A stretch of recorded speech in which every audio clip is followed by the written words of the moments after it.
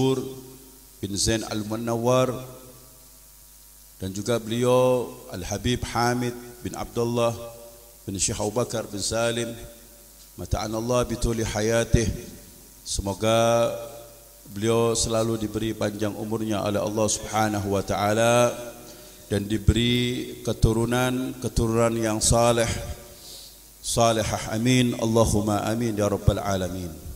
Dan juga kepada panitia penyelenggara peringatan Maulid Nabi Agung Nabi besar Muhammad sallallahu alaihi wasallam yang sangat saya hormati. Mudah-mudahan dengan ikhtiar kalian berusaha kalian untuk mewujudkan peringatan daripada peringatan Maulid Nabi Agung Nabi besar Muhammad sallallahu alaihi wasallam yang mana dikatakan masyikama majma'il maulid. Habib Ali mengatakan tidak ada peringatan yang lebih unggul yang lebih utama yang lebih baik daripada peringatan peringatan Maulid Nabi besar Muhammad sallallahu alaihi wasallam kalau peringatan-peringatan yang lain itu jaminannya paling perut kita kenyang. Betul? Seperti antum mengadakan milad anaknya antum. Antum manggil orang kalau masih pakai kefiah tata cara Islam masih mending.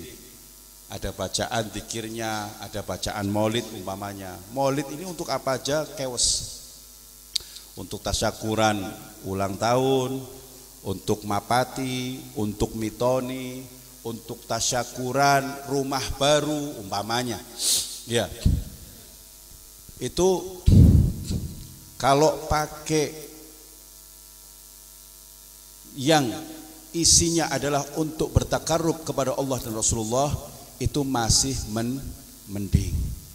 Tapi kalau peringatan yang di dalamnya peringatan tersebut itu nyanyi-nyanyi umpamanya, foya-foya yang artinya melupakan Allah dan melupakan Rasul sallallahu alaihi wa alihi wasallam.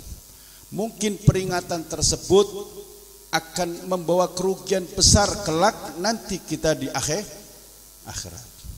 Tapi ketika peringatan yang mana peringatan tersebut di dalamnya adalah mengajak untuk berzikir kepada Allah, mengetahui lebih dalam akan ilmu yang Allah berikan kepada Nabi Muhammad, Nabi Muhammad diberikan lagi kepada umatnya, itu kita mendapatkan pahala yang begitu besar yang diberikan oleh Allah SWT.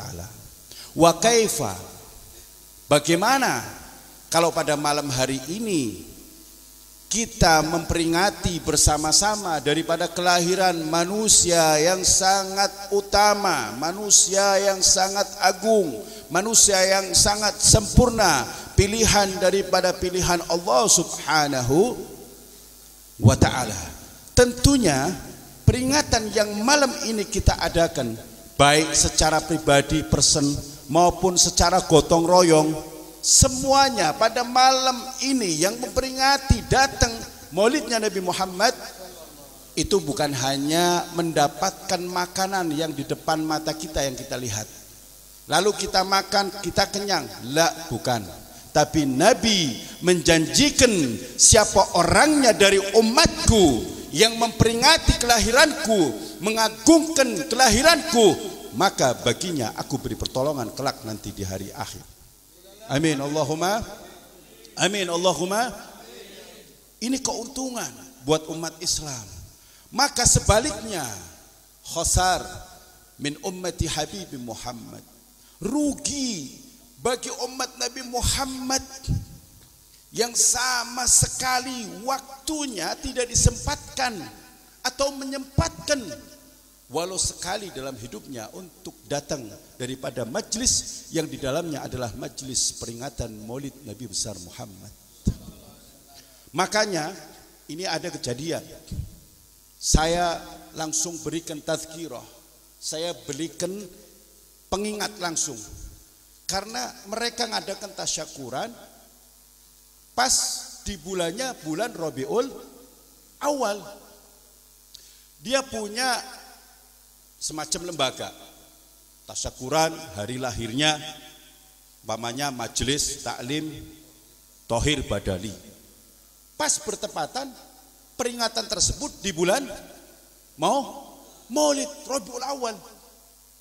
Itu mestinya lahirnya majelis tersebut dompleng yang diutamakan peringatan maulid nabinya dulu baru peringatan peringatan yang lain baru dom dompleng sebab kalau tidak ada Nabi Muhammad tidak ada peringatan di muka bumi Allah.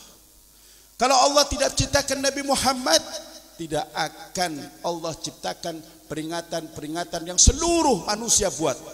Tidak ada.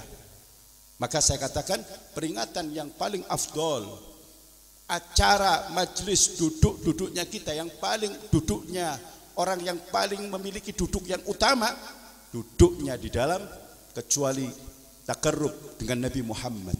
Memperingati daripada kelahiran Nabi Muhammad maka ada satu ulama mengatakan bahwasanya beliau mengatakan kulla daqiqah wa kulla sa'ah wa kulla ayyam wa kulla syuhur. Jangankan setiap tahun. Dia mengatakan setiap detik bagiku adalah memperingati Nabi Muhammad. Allahumma salli ala Muhammad sebab alamat al-insan tanda manusia dari umat Nabi Muhammad yang akan selamat yang mengikuti Nabi Muhammad. Yang mencontoh Nabi Muhammad tidak sembarangan. Allah subhanahu wa ta'ala yang berfirman lakot kana lagum fi rasulillah uswatun hasanah kok ente nyeleweng? Ente keluar dari perintah Allah ente nyontoh selain Nabi Muhammad. Nyontoh yang ente idolakan orang lain yang tidak diperintahkan dalam Al-Quran. Maka contoh yang ente lakukan yang ente amalkan contoh itu membuat sengsara dan membuat rugi membuat kecewa nanti kelak di akhirat. Tapi kita mencontoh kepada seseorang yang sudah Allah buat untuk menjadi contoh semua manusia di alam muka bumi ini maka kita tentunya akan selamat dunia akhirat. Amin. Allahumma amin. Ya rabbal hadirin wal hadrat ikhwani rahimakumullah. Saya tidak panjang lebar sedikit saya akan menceritakan tentang kemuliaan daripada kelahiran Nabiuna wa Habibuna Muhammad sallallahu alaihi wasallam Sebelum Nabi Muhammad SAW diciptakan itu zamannya namanya zamannya zaman apa Pak? Zaman zahili, zahiliyah. Bahkan sampai Allah Subhanahu wa taala mengatakan wa in kanu min qablu la fi mubin. Pada saat Nabi belum Allah taala lahirkan di bumi ini itu kunyahnya, julukannya Allah Ta'ala juluki pada saat itu manusia sebelum Nabi Muhammad diciptakan Zahiliyah tidak mengenal Allah Subhanahu itu orang yang sesat dan dikatakan sesatnya jelas. Dolalul mubin. Udah sesat sesatnya sangat sangat jelas. Itu naudzubillah min. Ya untung kita hidup bukan di zaman sebelum Ya qabla wujudin Nabi Muhammad sebelum adanya diwujudkan Nabi Muhammad. Tapi setelah Allah taala wujudkan Nabi Muhammad sallallahu alaihi wasallam julukannya sudah berubah. Bukan wa in kanu min qablu la fi dhalalim mubin. Dirubah sama Allah taala kuntum khairan ummati. Masya Allah. Ini beruntungnya kita. Kita hidup setelah Nabi diciptakan dan kita menjadi umatnya Nabi Muhammad yang mana kunyahnya, julukannya sebaik-baik daripada um umat. Akan tetapi, maaf, akan tetapi sebaliknya orang yang paling bahaya setelah Nabi Muhammad diciptakan oleh Allah membawa risalah amanat yang Allah Ta'ala berikan syariat Islam tapi tidak mau ajakan daripada ajakannya Nabi Muhammad. Ini sebaliknya. Ini orang yang paling membahayakan. Sebab dikatakan dalam Al-Quran tahu terjadinya ada kalimat ayat yang bunyinya apa? Wa idh kulna lil malaikati isjudu li adama fasajadu illa iblis. Aba enggan wastakbar sombong. Ini maka kita jangan jadi manusia yang sifatnya seperti ib sombong enggan. Naudzubillah min dzalik padahal sebelum Nabi Muhammad diwujudkan oleh Allah taala di muka bumi ini nurnya Nabi Muhammad sudah Allah taala ciptakan beribu-ribu tahun. Bahkan para malaikat para arwah di alam malakut semua bertasbih kepada nur Nabi Muhammad. Sebelum ribuan tahun Allah ciptakan wujud Nabi Ah Nabi Adam alaihi salatu wassalam. Bahkan kenapa terjadinya Allah taala memerintahkan wa id qulna lil malaikah. Kenapa malaikat pada saat itu sujud kepada Nabi Muhammad dan berbaris sufufan sufufan yusabbihu? Malaikat di belakang dohri Adam, punggungnya Nabi Adam dengan hormat karena di situ ditaruh nur Nabi Yuna Muhammad sallallahu alaihi wasallam. Dan nur ini dijaga ketika hubungannya Nabi Adam dengan Siti Hawa ketika Allah taala ciptakan ketika sesaat Nabi Adam tidur terbangun di depannya sudah ada wanita cantik. Ketika mau dipegang Diperingatin sama Allah, la, tidak boleh kamu pegang. Sebelum kamu memberikan mah, mahar. Akhirnya Allah Subhanahu wa taala memerintahkan untuk memberikan mahar. Ada yang mengatakan solawat tiga kali, ada solawat sekian kali. Ningkahnya Nabi Adam menjadi sah hubungannya Nabi Adam dengan wasilah kepada Nabi Muhammad. Itu sebelum Nabi Muhammad diciptakan, diwujudkan dalam bentuk fisik manusia Nabi Muhammad SAW. Itu sudah menjadi wasilah lantaran kok kenapa kalau ada orang berwasilah katanya bid'ah. Nabi Adam bisa sah nikah terus ada kita semua. Nabi Adam julukannya apa tahu enggak? Aba Muhammad Julukannya bapaknya Nabi Muhammad. Muhammad. Abu Muhammad. Ini Allah Ta'ala yang manggil. Ketika sudah sah nikah, Nabi Adam tahu karena nur yang harus ditransfer dipindahkan ke jasadnya Ibu Siti Hawa, maka dia menyarankan ketika mau hubungan untuk wudhu bersuci pakai wangi-wangian. Setelah itu ditransfer keluarlah anak yang bernama Sis Nabi Nabi Sis. Dan itu seterusnya, seterusnya, seterusnya sampai kepada ayahnya Abdullah dan ibunya pasangan suami istri ibunda Sayyidatina Aminah. Itu manusia, manusia hamba-hamba Allah, pilihan-pilihan dari Allah Subhanahu wa taala. Makanya jangan didengerin kalau ada orang yang mengatakan begini, begitu, jangan didengerin. Sebab ini betul-betul dijaga. Makanya ketika ada tulisan la ilaha illallah Muhammad Rasulullah di sekeliling aras, di gedung-gedung sorga, di lehernya bidada, di mata kedua malaik, malaikat. Bahkan Nabi Adam berwasiat kepada anaknya Nabi Sis untuk membacakan La ilaha illallah Muhammad Rasulullah. Jadi sejak Nabi Adam Allah ciptakan sudah diajarkan daripada pelajaran tauhid. Iya. Di situ sudah ber tauhid. Iya, la ilaha illallah Muhammad Rasulullah. Ya mudah-mudahan ini malam peringatan Maulid Nabi Muhammad SAW membawa berkah buat kita semuanya. Amin Allahumma amin ya rabbal alamin. Dan dikatakan oleh ulama kalau umat Nabi setelah Nabi diciptakan mudah-mudahan kita menjadi umat Nabi orang yang beruntung yang mengikuti kepada Nabi SAW. Dikatakan oleh ulama la ya'rifu qadran Muhammada illa Rabbu Muhammad. Artinya Tidak ada orang yang tahu pangkat kedudukan tinggi Nabi Muhammad kecuali Allah Subhanahu Allah Subhanahu wa taala. Jadi pada saat Allah Subhanahu wa taala sudah menciptakan Nur Muhammad sebelum ribuan tahun Nabi Adam, tidak ada yang tahu. Tapi setelah Nabi dilahirkan dan orang-orang banyak beriman, ada sahabat Nabi yang bernama Sayyidina Ab, Abbas, Sayyidina Abdullah bin Abbas. Beliau mengatakan dia ahli memuji kepada Nabi Muhammad dan para sahabat Nabi semuanya memuji. Ini dalil daripada kita membacakan Maulid tidak bid'ah karena setiap sahabat Nabi ketemu Nabi memuji Nabi Muhammad.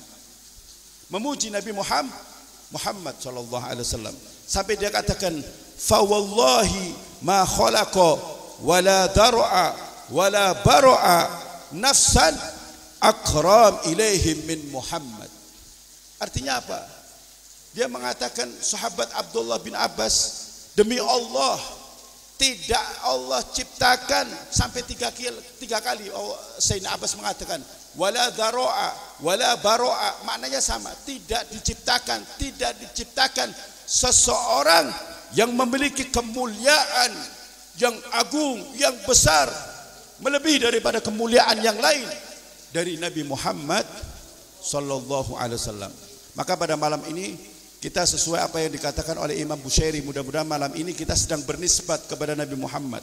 Kita mulia karena bernisbat kepada Nabi Muhammad jadi umat Nabi Muhammad kalau tidak ada Nabi Muhammad kita mustahil diciptakan oleh Allah kalau tidak ada Nabi Muhammad tidak ada nasi tidak ada buah-buahan tidak ada alam seisinya diciptakan oleh Allah Subhanahu wa taala. Maka dikatakan oleh Imam Bushairi wansub ila dzatihi ma syi'ta min syarafi wansub ila qatrihi ma syi'ta min idhami. Itu Imam Bushairi mengatakan artinya ketika sesuatu bernisbah kepada Nabi Muhammad sallallahu alaihi wasallam maka sesuatu itu akan mendapatkan kemuliaan. Ya, sesuatu yang bernisbah kepada Nabi Muhammad pasti akan mendapatkan kemuliaan. Kalau kita ingin mendapatkan kemuliaan, maka di dalam keseharian kita kita mencontoh cara dan bagaimana Nabi mengajarkan dalam kehidupan sehari-hari. Insya Allah kita hidupnya barokah. Amin. Allahumma amin. Hanya sedikit yang saya sampaikan. Mudah-mudahan manfaat buat al-fakir. Sebelum ditutup eh, doa maulid dulu ya. Biar kita mendapatkan barokah malam ini. Walaupun ini malam kita mengadakan singkat dan padat, tapi saya yakin barokahnya tidak singkat. Ya, pahalanya tidak singkat. Banyak diturunkan rahmat oleh Allah Subhanahu wa taala. Kebetulan ini hujan, hujan rahmat. Malaikat yang menghitung tetesnya air hujan itu ada Allah ciptakan. Mampu ada satu malaikat yang bisa menghitung tetesnya air. Tapi ada malaikat, malaikat yang biasa menghitung tetesnya air hujan ini dia bilang, "Ya Allah, saya tidak mampu. Ada sesuatu yang tidak mampu sama malaikat yang bisa menghitung tetesnya air hujan. Kalau sampean ningali udan mawon suara paham tetesana pira. Niki malaikat paham ditugaskan. Malaikat ini tidak mampu, tidak mampu, tidak mampu. Apa yang tidak mampu dilakukan oleh malaikat tersebut ketika umat Nabi Muhammad bersolawat kepada Nabi Muhammad tidak mampu menghitung rahmat yang diturunkan oleh Allah Subhanahu wa taala. Padahal hujan dia mampu, tapi solawat rahmatnya tidak mampu menghitung. Wa musalli ala Muhammad. Makanya jangan eh, apa namanya? Jangan menyanyikan waktu kalian untuk ta'alluq, untuk mendekatkan diri kepada baginda Nabi Muhammad SAW. Sebab dikatakan oleh guru saya, orang yang akan selamat nanti kelak, orang yang bisa melihat wajah Nabi Muhammad itu sama halnya orang yang mendapatkan ridho dari Allah. Sama halnya orang yang selamat daripada siksa abindra kalau ente sudah bisa memandang wajah Nabi Muhammad ente selamat sudah dunia akhirat. Amin Allahumma amin. Makanya uh, kita taruh nama Nabi Muhammad di dalam hati kita ya sebab dikatakan oleh Al Habib Abdul Qadir ma baqiya lakum minal a'mal siwal khub. Tahu artinya? Ma ma baqiya lakum minal a'mal siwal khub. Artinya apa? Dari kalian tidak ada sisa amal-amal dari kalian kecuali menaruh rasa kecintaan yang besar kepada Nabi Muhammad. Amal yang lain kalah, ya, tidak ada yang bisa menandingi kecuali dengan amal kecintaan antum kepada Nabi Muhammad. Makanya beliau mengatakan aliku kulubakum bimahabbatihi. Penuhi hati kalian dengan nama Muhammad sallallahu alaihi wasallam. Monggo sarang-sarang saat derenge ditutup nggih. Niki kula nen ijazah, mudah-mudahan ijazah manfaat diamalaken ping 100 nggih. Niki sholawate wali gede. Wong sing maca sholawat niki insyaallah akan diberi semua hajat di dunia 30 hajat dan di akhirat 70 hajat. Ya. Bismillahirrahmanirrahim. Salawatnya gampang. Allahumma salli ala sayyidina Muhammad wa ala ali sayyidina Muhammad wa ala ahli baitihi wa ala ahli baitihi 100 kali.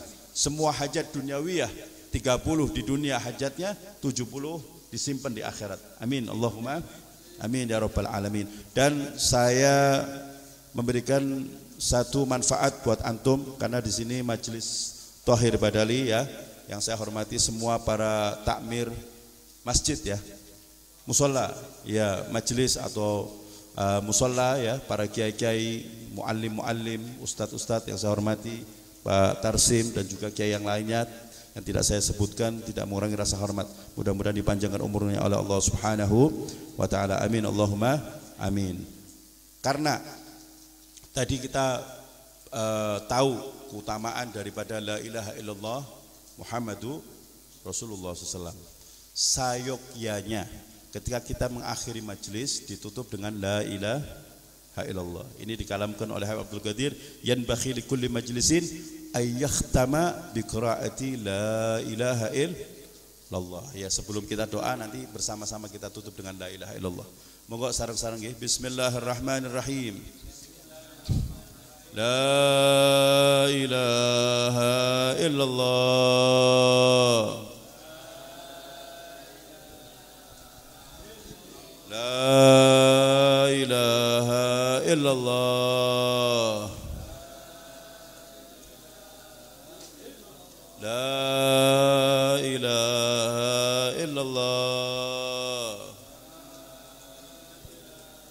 محمد رسول الله صلى الله عليه وسلم. اللهم صل وسلم. أشرف الصلاة والتسليم على سيدنا ونبينا محمد رؤوف الرحيم.